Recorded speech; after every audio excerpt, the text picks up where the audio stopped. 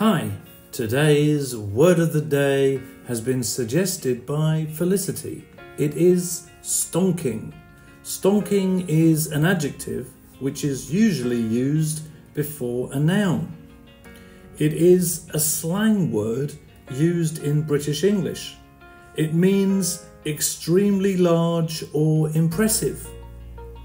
It first appeared in British English in the 1980s.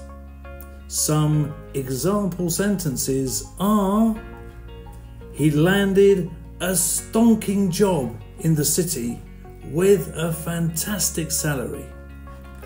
They live in a stonking big house with 10 bedrooms and a swimming pool.